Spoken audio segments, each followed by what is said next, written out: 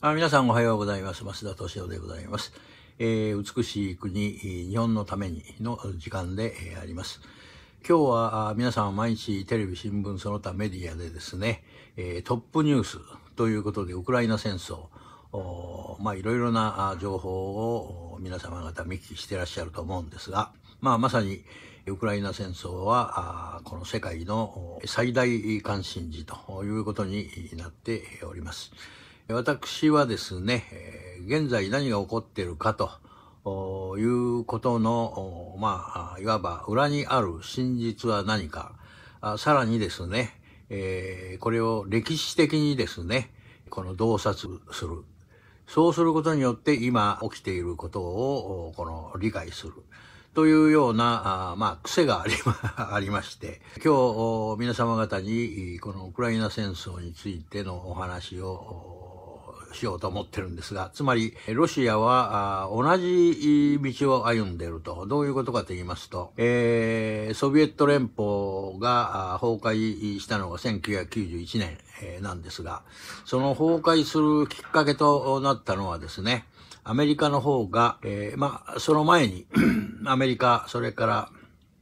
うん、ソ連、えー、との間の、いわゆる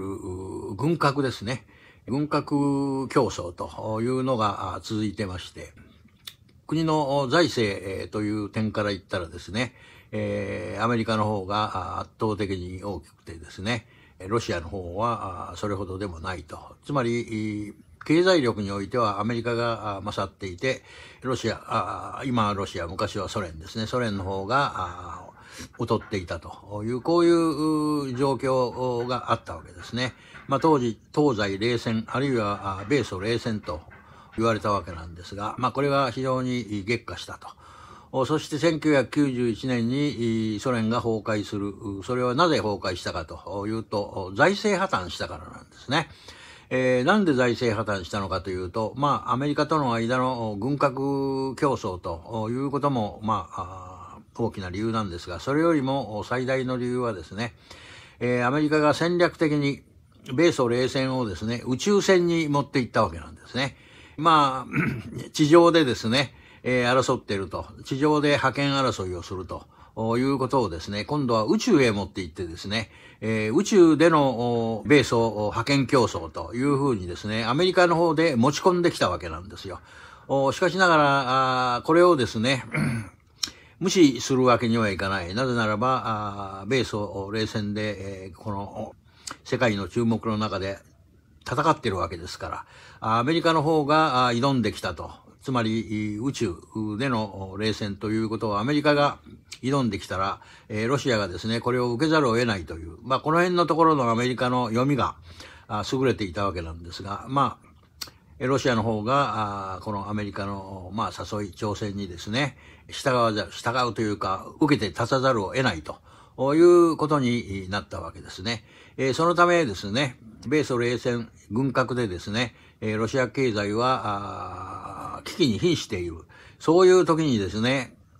えー、宇宙戦争ということで、え、なおさらですね、えー、多額な 軍事予算を計上しなければならないということになってですね、えー、これが原因なんです。宇宙船に引っ張り込まれた、あこれが原因でですね、え、ソ連の経済が破綻してしまったと。ということでですね、ソビエト連邦が崩壊するということ。これが1991年に起こったことなんです。え、さて、歴史は繰り返すで、え、今のウクライナ戦争なんですが、もともとプーチン大統領はウクライナに軍事侵攻するつもりはなかったんですね。約20万のロシア軍をウクライナとロシアとの国境に貼り付けまして、つまり圧力をかけたわけですね。で、なんで圧力をかけたかというと、ちょうどゼレンスキーウクライナ大統領が、えー、NATO へ加盟したいと、NATO への加盟ということをですね、打ち出して、加盟交渉に入ったということ。これがですね、ロシア、プーチンにとってはですね、大変な安全保障上の危機なんですね。えー、ということは、うん、ウクライナというのはちょうど、ロシアと国境を接してまして、そして、西側はですね、えー、NATO 諸国が、あこの、控えてるわけなんです。だからこのウクライナが NATO に加盟するということになると、えー、NATO の軍事脅威というものが直接ロシアに及ぶと。まあ、わかりやすく言えばですね、ロシアの背中に合い口を突きつけられるという、こういう事態になるわけですね。ですから、プーチン大統領としては、ロシアの安全保障の建前からですね、何としてもウクライナが NATO に加盟するということを阻止したいわけですね。そのために、国境に約20万のロシア軍を貼り付けて、そして、まあ、牽制したというか、NATO に加盟すると、どういうことになるか分かってるだろうなという、まあそういう圧力なんですよ。あくまでも圧力で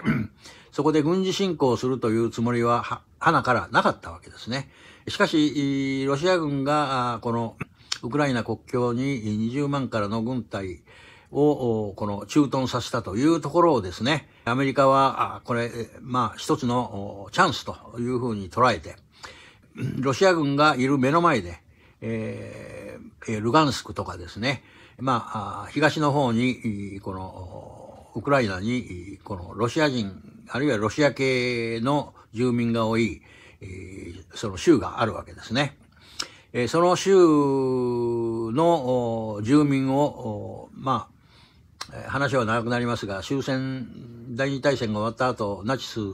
ドイツが滅びまして、そこにナチスというですね、えー、組織があったんですが、このナチスの残党をですね、ウクライナに連れてきて民兵化すると。